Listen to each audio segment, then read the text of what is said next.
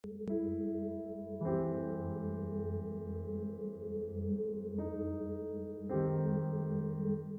my name is Marta Szymańska. I'm from Super Sexy Software.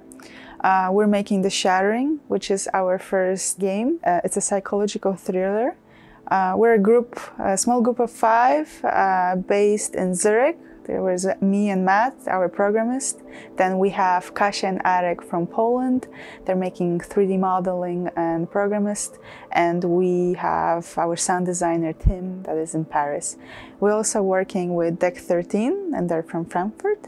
And with all of us, that's the whole team.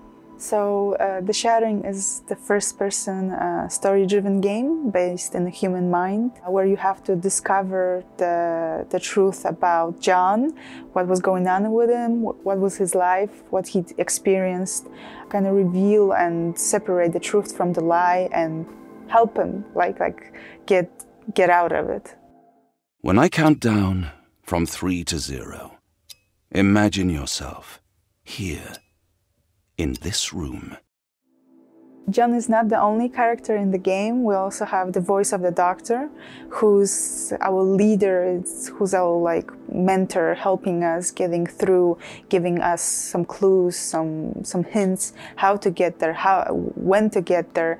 He's also telling us with the questions he's asked us about how to get deeper to the truth. So it's also on us, on the player, to, to reveal it. But the doctor is there just to push us a little bit deeper, a little bit more forward. All right. Let's try one more time.